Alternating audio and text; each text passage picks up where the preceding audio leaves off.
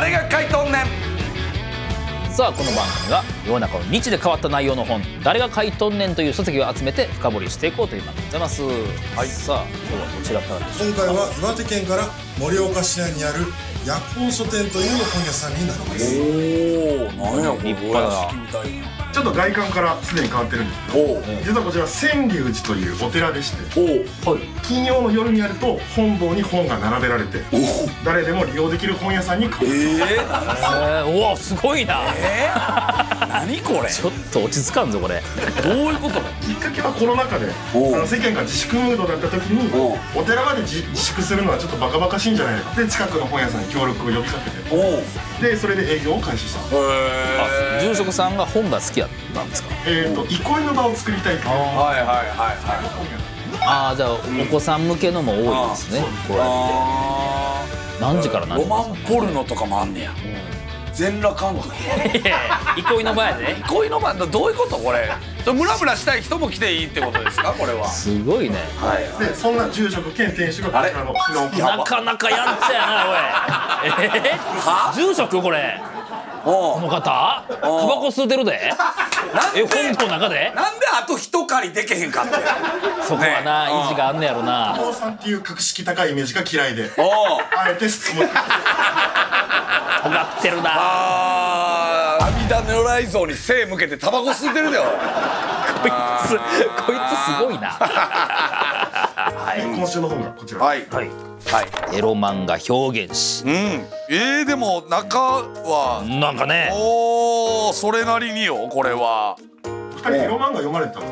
いやまあね部室とかにあってとかは中学時代ありましたけど。高校までかな。コンビニでよくエロ漫画立ち読みしてて、えー、いよいよコンビニの店長のおばちゃんに「ええ加減にしいや」って言われたことある。恥ずかしい。恥ずかしいぞそれはあんたもうええ加減にしいやって言われた。でもなんかやっぱあの時代なんかエロ漫画じゃないとダメだっていう時期はあったよねしずる感は。エロ漫画じゃないと出せないいうあれはありましたよね。はまあ、この本を書いた、えー、君リトと申します。はいよろしくお願いします。お願いします。ねなんかもっとね、うん。もっと下品な感じの方かなと思ったら、エロそうな感じ。意外に上品な感じの、はいはい。君さんは。君さんはな、はい。な何者なんですか？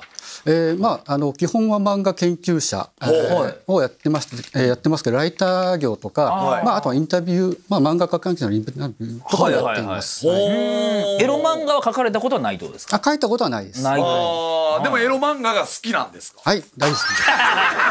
よかったよかっいい言い方やな。はい、大好きです。はいはいはい。やっとしずる感が出てきました。たいらない これは何年前ぐらいからお好きやったとかあるんですか？何年前？まあ、えー小学生ぐらいですかね。お早いですねおーやっぱり僕らと一緒でこうなんか公園に落ちてた。そうですね昔は公園にあのねあの毎週配布されてたんで。そうそうっすよね。配布。あのー国がね、はい。国が公園に落としてってたんですよね。あれ国がやってくれたんですか？国がやってくれてたんですよ。助かりましたね。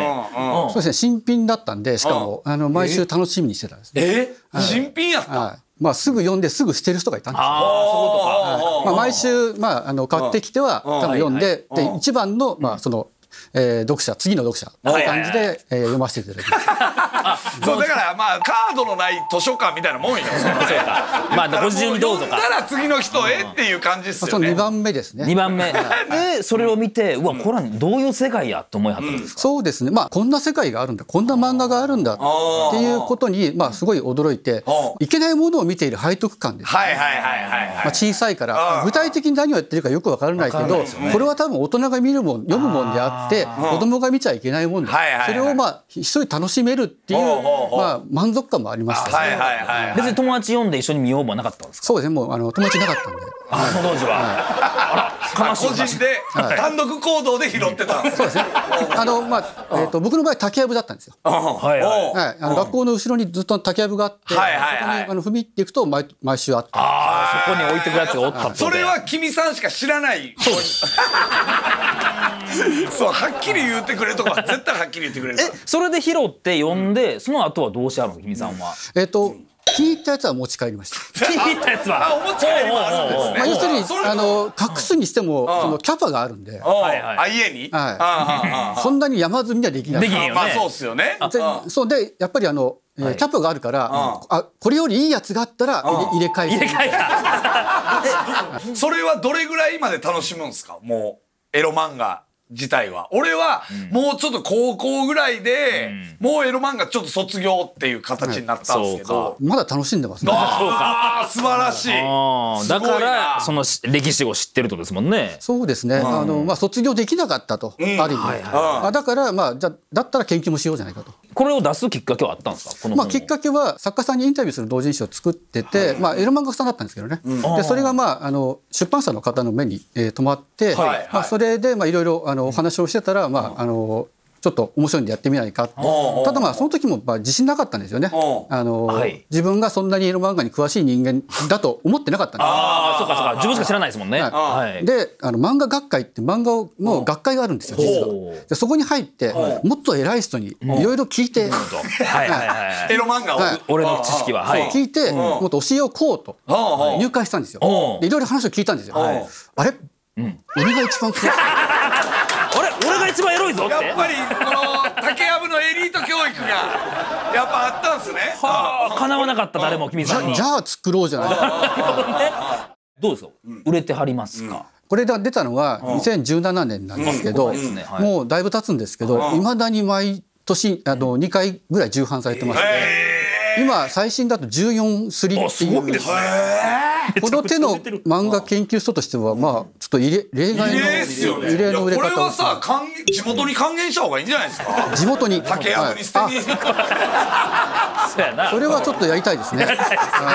やっぱそう残ってたらちょっと寂しいです。そうやな。持って帰ってほしいですよね。これ海外で日本のエロ漫画ってどうなんですか？めちゃめちゃ今ブームです。やっぱそうなんや、日本のエロ漫画とかエロアニメって変態って言葉でもう通じちゃうんですね。変態って言葉。が変態って言葉でうん。あの伝わってるんですよ。えじゃあアメリカ人も変態って言うってことですか？そうです。ただへまあ日本の変態と意味が違うんで、そこはちょっと誤解しないように。えーだから向こうの変態っていうのはエロ漫画っていう。エロ漫画、エロアニメ、まあ日本初のエロジャンル全体を総称する場合もあるんですけど、大体エロ漫画ってエロアニメのことを言います。へー。だからこれ表現詞ってことはだからエロ漫画特有の表現をめっちゃ調べたってことですよね。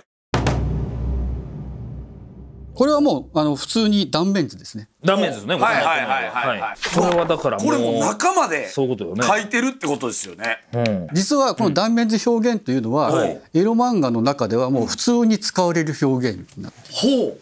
この絵はよだからよく差し込まれてるってことですか？もうあの、もう今だと100%使われてますね。え？えあそうなんですね。これな何がいいんですかこれは？これはですね、まあ最初はもう性教育的な意味も、まあ多少はあったんですけど、はいはいはい。いつしか中でどのように、えーまあ動いているか、どのようになっているか、まあ要するに AV 的には表現できない。はいはいはいはい。うん。えー部分をなんとか表現したいという、はあ。まあ、漫画家さんたちの苦労が、はやっぱそれは表現したいんですね。いはい、これ最初にやられた方っていうのは実はものすごい有名な方なんですけどはい誰だと思いますか、えもしかしてですか？巨匠じゃないの？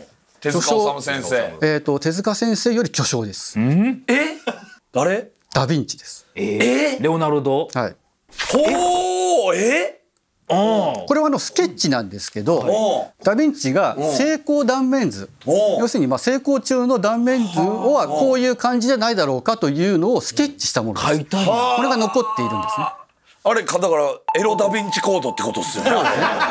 そうやな。ただあのこれ間違ってるんです。おはい、あのダ・ヴィンチは想像で書いてるんです。はい。解剖学的にはかなり間違ってます。ほうほうほう。なのでまあダ・ヴィンチがかなり妄想で書いたと。はい。でダ・ヴィンチがここまで妄想で書いたっていうのはやっぱりダ・ヴィンチもこういう途中の図がどうなってるかすごい気になってたんじゃない。かそうか、ダヴィンチも中がどうなってるかっていうのははい。多感な時期があったってことですね。きっと気になってこうなってるに違いないっていうことで残したんじゃないかと。はい。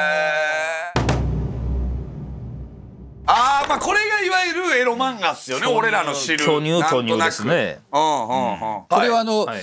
まあ俗に言う乳首残像という名前がついて ます。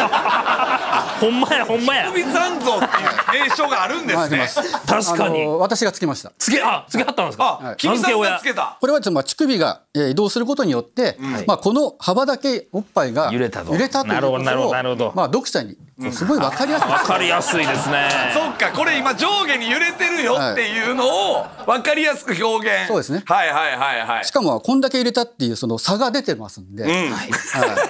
歴史的なは発見というか。そうですね。これは誰が発明したんですか？これはですね誰もが知っているガンツを抱えている。おお奥広也先生。え？ー、え？結構最近ですねじゃあ。はい、奥広也先生がなんと1988年の8月31日に、えー書かれたもの夏休み終わりに、夏休み終わりに一番最後夏の一番最後に。はい、そこまでえー大体は突き止めております。えー。これか。どれどれどれ？何ページ87ページ。87? あはい。86ページの、あほんまや。はい、あの右上、えーあ。に載ってる。これが初めてのやつですね。あお前乳首三像ですね、はいぜひあのこう世界初の乳首残像すごいな。すごい。奥広也先生やったんや、へえ。あー。でそっからじゃあエロ漫画家の方たちがこの表現いいなってなったんすか？すごい発明だと。うんはい。ということでどんどんエロ漫画家さんの中で広まって、もう今じゃあもうエロ漫画家さんのもう基礎基礎的な。基礎なんやこれがあーへ